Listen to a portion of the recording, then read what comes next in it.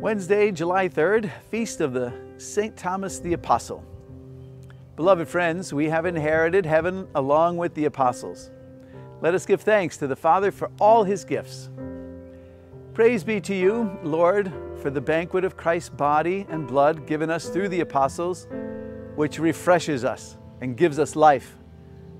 Praise be to you, Lord, for the feast of your word prepared for us by the apostles, giving us light and joy.